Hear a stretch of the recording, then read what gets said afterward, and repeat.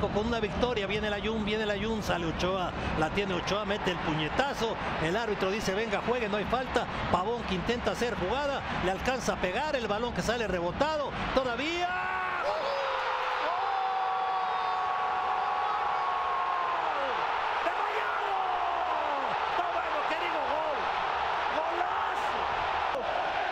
La gente Qué- vuelta loca. ¡Qué en el gol, BBVA. Toño! ¡Qué gol nos regaló Funes Mira nada Mori, más. eh! ¡Ah, golazo!